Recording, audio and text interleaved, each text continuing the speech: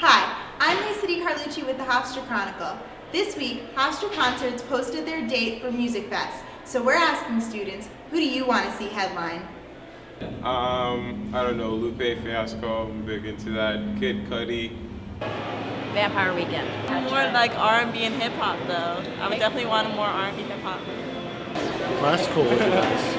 Um, Usher. Drake?